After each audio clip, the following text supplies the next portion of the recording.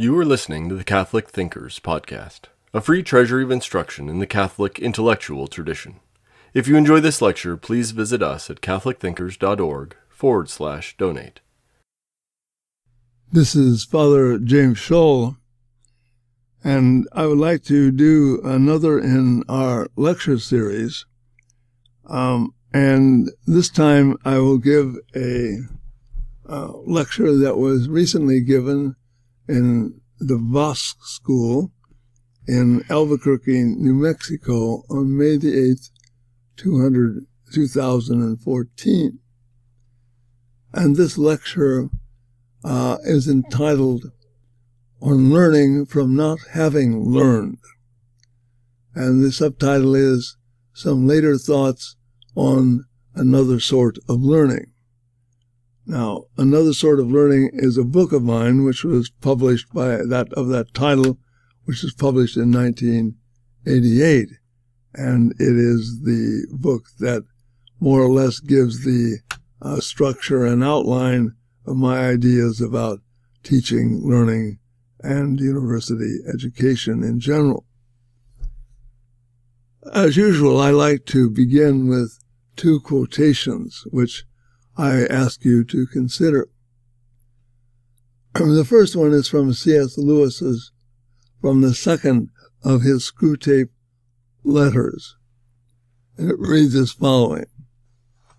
He said, the disappointment, that is to say, there's a certain disappointment that occurs in our lives in these situations. This disappointment occurs when the boy has been enchanted by stories from the Odyssey. And, but then when he buckles down to really learning Greek, he is disappointed. It comes when lovers have got married and begin the real task of learning to live together. In every department of life, it marks the transition from dreaming aspiration to laborious doing the end of the quote. The second citation is from Boswell's Life of Johnson uh, in the year 1730. The quote, no man had a more ardent love of literature or a higher respect for it than Johnson. His apartment in Pembroke College was over the gateway. The enthusiast for learning will never, um, will ever contemplate it with veneration. One day, while he was sitting uh, in uh, quite alone, Dr. Panting, then head of the college, overheard him uh, uttering this soliloquy in his strong, emphatic voice, and he said, well, I have a mind to see what is done in other places of learning. I'll go and visit universities abroad. I'll go to France and Italy. I'll go to Padua. And I'll mind my business there. For an Athenian blockhead is the worst of all blockheads. The end of the quotation. So keep those two quotations in mind as we go through, and we will come back and touch a little bit about what they meant. Now, the school we're at is called the Bosque School. It is a high school in Albuquerque where we are fortunate enough to have an auditorium uh, for this uh, particular lecture. Bosque is evidently the Spanish word for forest. Here in the southwest of the United States, it refers especially to woods along river bottoms. In this school, the river nearby is the famous Rio Grande. One can speak of being educated in a forest, or even, I suppose, of being educated by a forest. Tolkien, who had a special love of trees, uh, often spoke of what uh, the forest taught us. Our spiritual heritage speaks of a tree of knowledge of good and evil, with a garden as the original place of the first parents. The relations of gardens to parks and forests is an interesting one. I believe that the city of St. Louis has a large forest park, as does Everett, Washington. In one sense, today, we must almost say that all of our natural forests uh, spread throughout the country are cared for as large scale gardens and parks. In the middle of Munich, Germany, is a lovely park called the English Garden. The English Garden is more uh, kind of let grow than the formal Italian garden. we probably have uh, no more forests primeval left in the world. Even the jungles in Brazil come under government control.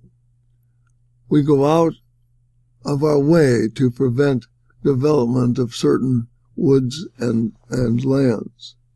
In a way, nature becomes more nature when it comes under the scope of human understanding. Nature was not meant simply to be nature.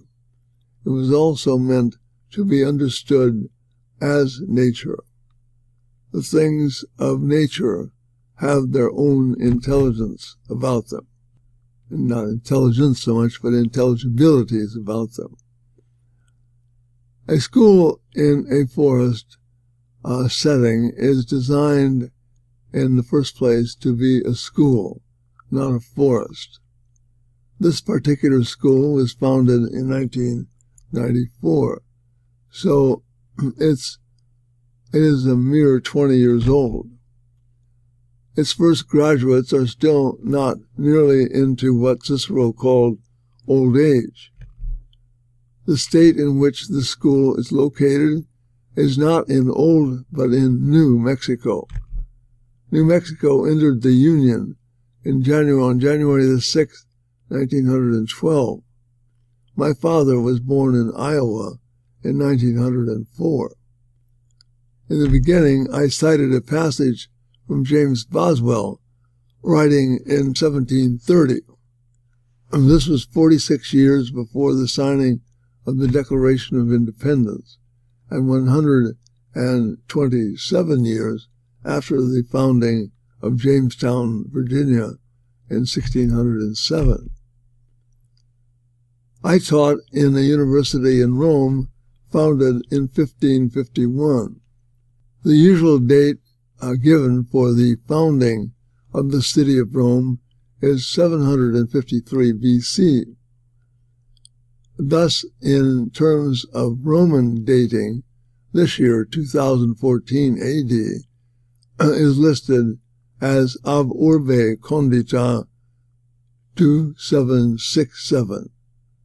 That is, from the founding of the city of Rome 2,767 years. I used to insist that students know, among other things, the dates of the deaths of Socrates, Aristotle, Cicero, Augustine, and Aquinas. From the time of Abraham to the time of Socrates was approximately 800 years. From the time of Socrates, who died in 399 BC, to the death of Augustine, who died in 430 BC, was another 800 years. From Augustine to St. Thomas Aquinas was 800 years, and he died in 7, 1274. And from Aquinas to our day is likewise another 800 years. These are time sequences and dates uh, that anyone can remember from early years if he but learns them, tries to. They serve to give some uh, time perspective and structure to our history. We also know of ancient Chinese, Hindu, and Inca calendars. the age of the universe itself is said to be uh, around 1300, 13.7 billion years. we like to know uh, what went on, where, and involving whom. Some education in time and space statistics, in history and geography, is appropriate uh, to the young mind uh, whose um, uh, memories are still alert. It is good to know that the wheres and the whens of things. If we do not take the trouble to know what happened in time and space, we will not be able to place things in uh, relation to uh, other things. Everything will come together as one time and one space, or all things are collapsed into a one blurry time and one fuzzy space. Knowledge of times and places is not the most important or most profound kind of knowledge, of learning.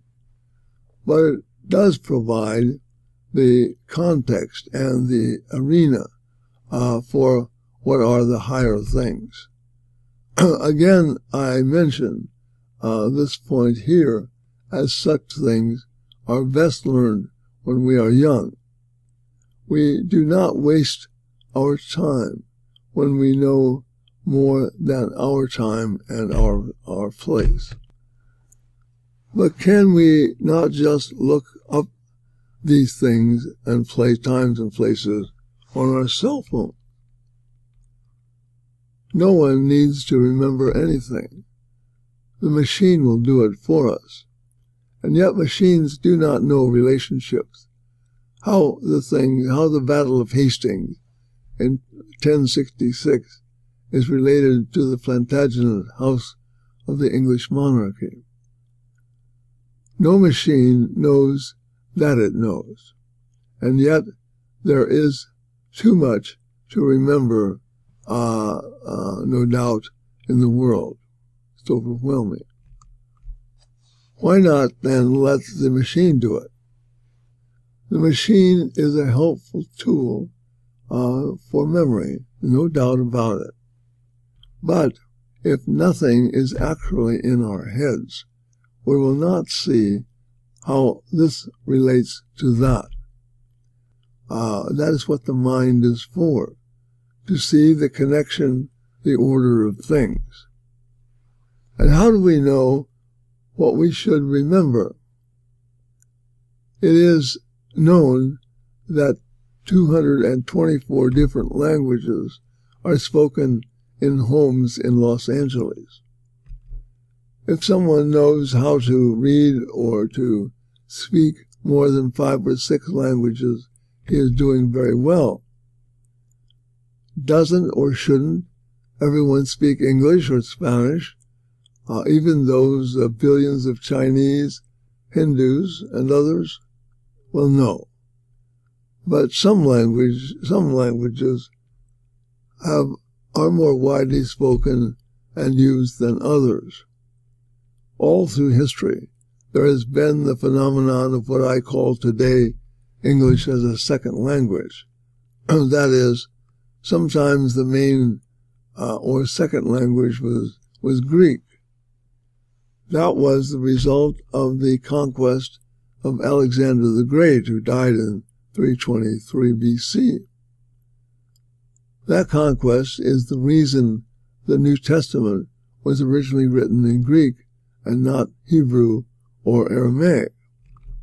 But after the Roman conquest of the Greeks, uh, much of uh, uh, Africa, Asia, and Europe, uh, then Latin became the common language of use. When we speak Spanish or English today, we are using for the most part, a dialect of Latin, though English also has a lot of German in it.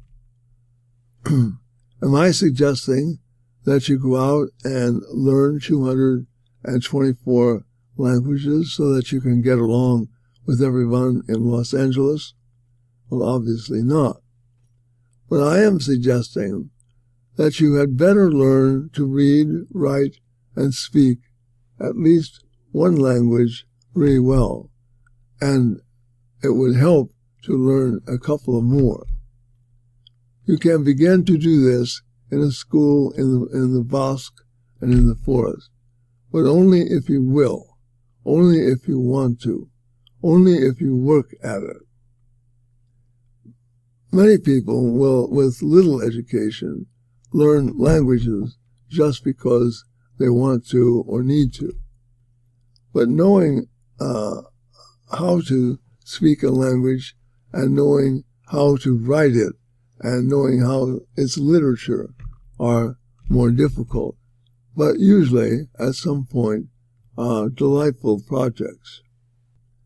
That was the point in the beginning of citing the passage from the Screwtape letters about the young man who was enchanted with the stories from Homer's Odyssey, a good thing. but he found out that to read Homer, the Homeric tales properly, he would have to learn Greek. And learning Greek was hard work. Not impossible, but not always easy. And yet, unless he learned Greek, the young man would not be free to read Homer as he could be. As in so many things, as in tennis, for example, or golf, uh, we are not really free to play the game unless we go through the difficulty of learning how to play well. No one is likely ever to have told us that much of the learning, much of learning is not IQ or native intelligence, but willpower, uh, docility, the capacity to be taught. We need the will to discipline ourselves, to find our good teachers, to follow instructions. We need the will to give up things, to give up things so that we have the time to do what is important. Where are we going to find the time to learn all that is needed or, uh, or the, all that we want to learn? I once heard the story of an old Indian uh, woman. Uh, someone was complaining to her that he did not have enough time. And she looked at him for a while and replied, You have all the time that there is. And this is one of the things that I want to tell you in this talk you do have all of the time that there is. We are all busy about many things. Our lives in this world pass with infinite limits. It is said that even though every fact is at our fingertips, we spend much time, as it were, horizontally, not vertically. That is, we spend much time uh, on various electronic devices talking to each other about almost I know not what things.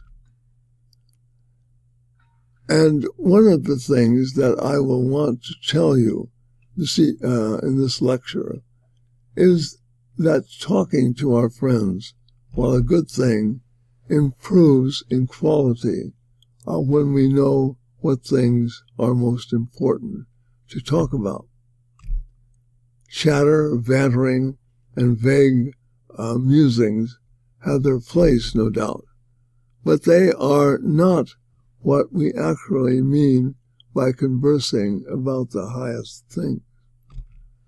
Uh, for this latter endeavor, you need to read, think, study, pray, write, and experience life. Again, where do we find the time?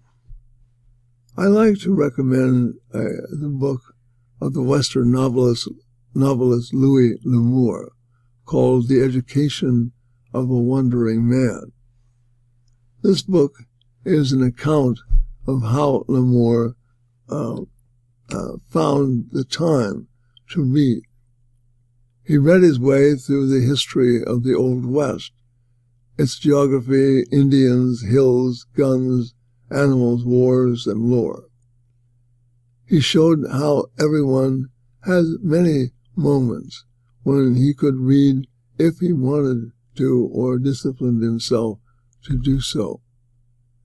In what normally be called free time or downtime, he read many books, uh, the titles of which he recorded in his book.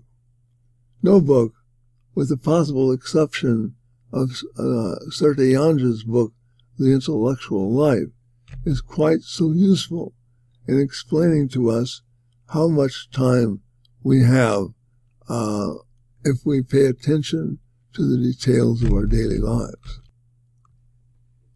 Uh, this lecture I have entitled On Learning from Not Having Learned. Another version of this same idea would be that we can learn from our mistakes. But here I have something a little different in mind. It is quite possible to have many academic degrees, but still not really be well educated. It is possible to read widely, but not to have read well. I might call what I have uh, in mind uh, remedial liberal arts, but still, that is not quite the point here either. What I have in mind is an aspect of a larger project that I have called another sort of learning. On one of my early walks when I had first arrived in Washington, D.C. to teach, I went by a bookstore on L Street. Seemingly by chance, I went in. I saw a shelf of uh, remainders for sale, uh, mostly paperback books. In those days, I was busy uh, flushing out my own personal library, something I recommend as basic in learning. Not Kindle, not iPads, but books, your books, things you have held in your hands as you read. In this sense, I am uh, still a fan of used bookstores, where often uh, uh, the wisdom of the ages is available for a relatively modest price if you know what you are what you are looking for. In this store, I came across a book of the British German economist E.F. Schumacher. The book was called A Guide for the Perplexed. I had read Schumacher's well-known book, Small is Beautiful, but I had never heard of this uh, book, at least by Schumacher. The title is the same as that of a book of the famous medieval Jewish philosopher Moses Maimonides. Just why Schumacher chose this already famous title was uh, intentionally provocative. So, as a kind of act of faith, I bought the book and read it. I was astonished by this short book. Indeed, I have noticed how often the best books are the short ones, though not always. Uh, of course, for I know about the long Russian novels. I have recommended the Schumacher book, uh, Guide for the Perplexed, and assigned it many times uh, ever, ever since the year that I first bought it in 1978.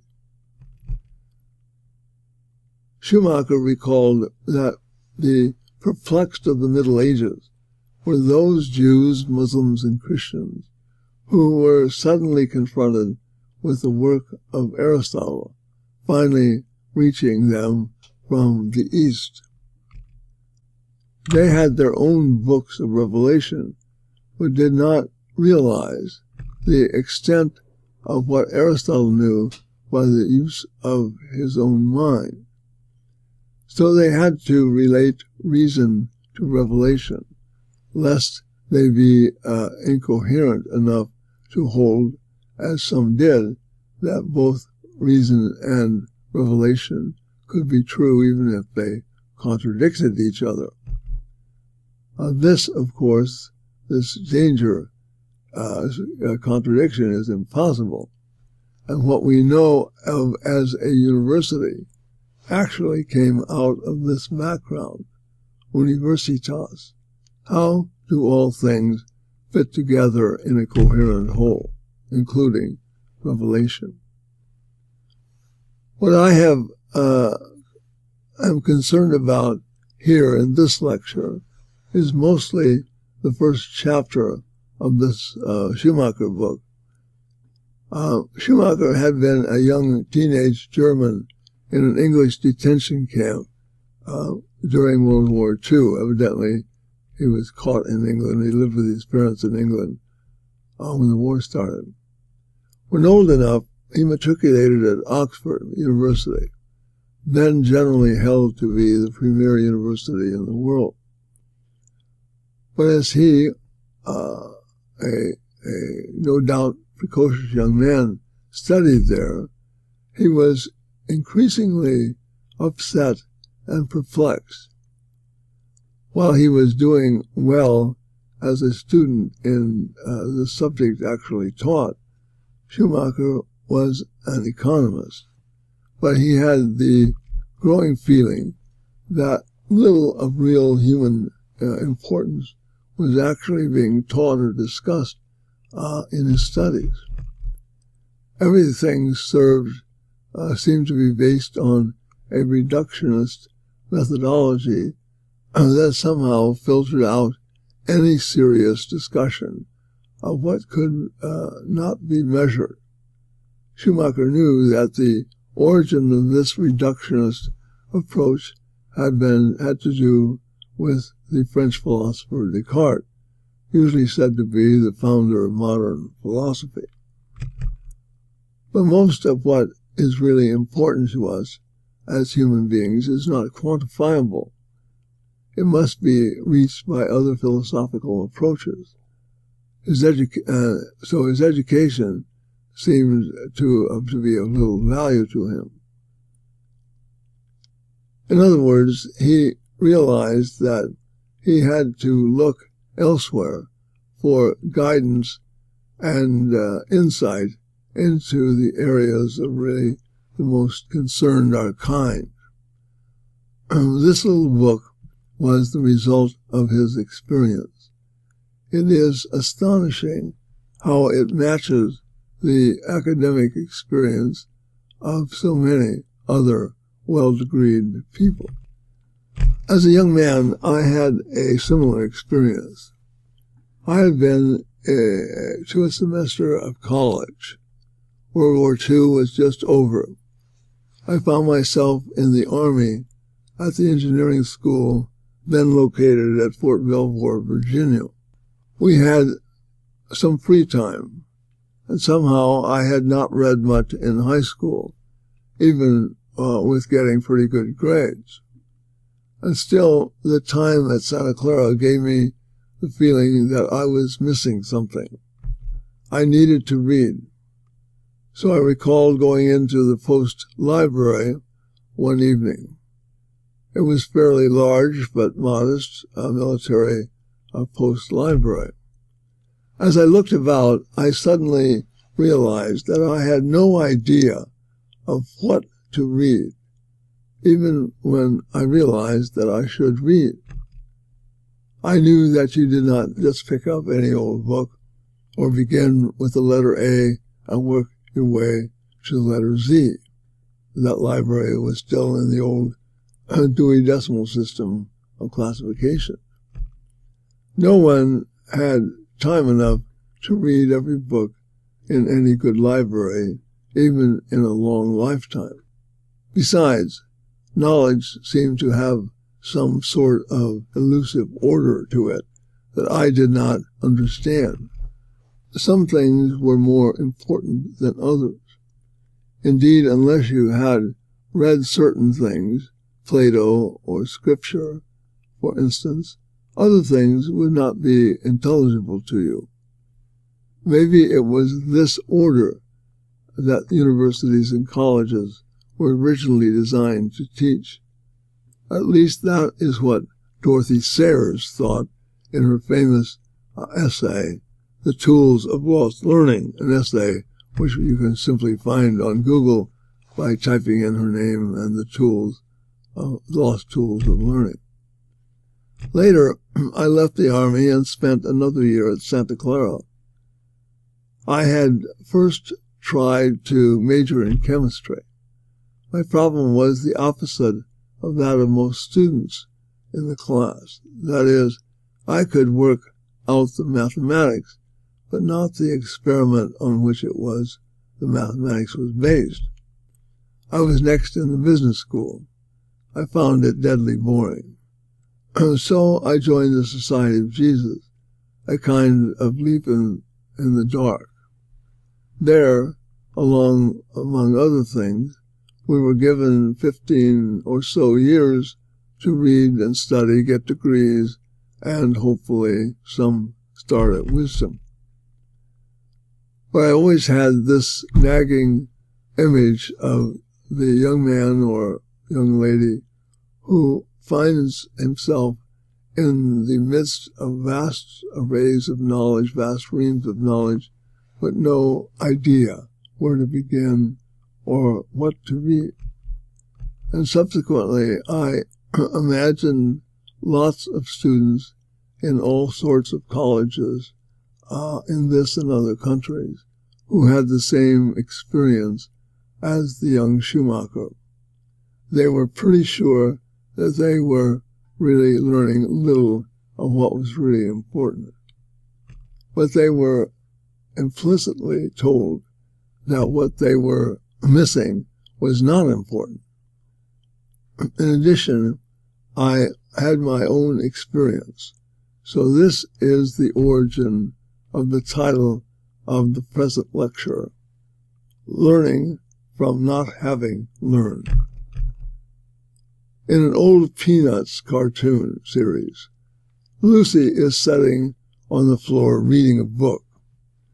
Linus comes up to her obviously working out his math assignment. He asks her, Lucy, how much is six from four? In the next sentence, she looks up at him and tells to tell him, six from four, you can't subtract six from four. She goes back to her, her reading while Linus looks on her, uh, but she continues, you can't subtract a bigger number from a smaller number. But this information uh, makes Linus simply mad. He yells at her in the next scene uh, to a befuddled Lucy, he says, you can if you're stupid. And that is the thought I want to uh, leave you with.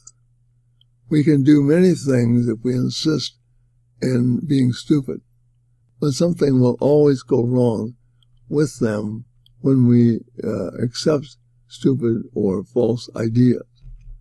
Our stupidities are also sources of light if we would see where they go wrong, where we go wrong. And yet, it is a first principle, that is something whose truth is seen in the very statement that no one really wants to be stupid, not even Linus. He wants the answer. He is just not yet old enough to understand minus numbers. What I call another sort of learning is the finding and reading uh, those seminal books uh, that take us to the truth and order of things. No doubt there are many such books that do this, and I only know a few of them. But I constantly think of the student in the uh, in their late teens and early 20s who somehow sense that what they are studying uh, misses some of the vital elements, uh, some insight into the real nature of things. Or I have uh, and in mind many folks who later in life, uh, after settling into their jobs in life, have realized that something has been missing in their formal education. I often receive letters or emails uh, from men and women in uh, in their fifties who suddenly have some time uh, from busy lives to realize that how much they have missed. But the spirit I want to leave you with is encapsulated in the title of a recent book of mine uh, called Reasonable Pleasures. The title of that book is really from Aristotle, who pointed out that all of our human activities are endowed by nature with a corresponding pleasure, designed in effect to enhance and foster the activity in which it exists. And Aristotle pointed out that there is a pleasure proper to thinking. Indeed, he suggested that if we do not uh, discover this delight in our own uh, experience, we are likely to confuse it with other activities and other pleasures. Indeed, there is a true delight in knowing. I have sought out and found many books that make sense and at the same time delight us. These are the Sunday books, book lists that uh, you will find me proposing in, in most of my books. Indeed, this evening I have a list of those books. One final word. In some sense, the most important chapter in another sort of learning is the one called What a Student Owes His Teacher. Students often tell me that it never occurred to them that they owed anything, not even gratitude to their teachers. When we are fortunate enough to find a good teacher, he can take us to important things faster than we can make it there by our own uh, unguided selves. And remember, our best teachers do not necessarily have to be alive in our own time or in our own place. It has been my experience from many years of teaching that the best teachers often lived thousands of years before our time. Plato remains the best in so many ways of these. In the beginning, I cited a passage from Boswell, a book that is itself an education in the highest thing, a long book uh, that is best read a few pages a day. Johnson is in Pembroke College. He is overheard in a moment of anguish, and he realizes that what he is learning in Oxford is not everything. He had better find out what is going on elsewhere in Padua, Paris, or Rome. And he sums up his uh, realization by the striking phrase, there is no blockhead like an Athenian blockhead. What does this blunt phrase mean? Athens is the great city of the philosophers. It is still the city that represents intelligence. Jerusalem, Athens, and Rome, revelation, reason, and law. So, if all we know is Athens, we know much. But if we think that we know that, th- that this is sufficient, we are but blockheads. And so we think of what L'Amour called the education of a wandering or wayfaring man. We can, I hope, uh, take as our own that searching for, that wondering about books that explain things to us, the important things, the highest thing. Aristotle was right. There is a pleasure in knowing. We really will not rest, to use Augustine's words, until we know what is to be known and delight in it. Nothing less explains why Schumacher was unsettled at Oxford or why we still want to learn, not having learned so many things from what we did, in fact, learn. The end of the lecture. We hope you enjoyed listening to Catholic Thinkers. Please visit us at catholicthinkers.org forward slash donate to help us keep this content free.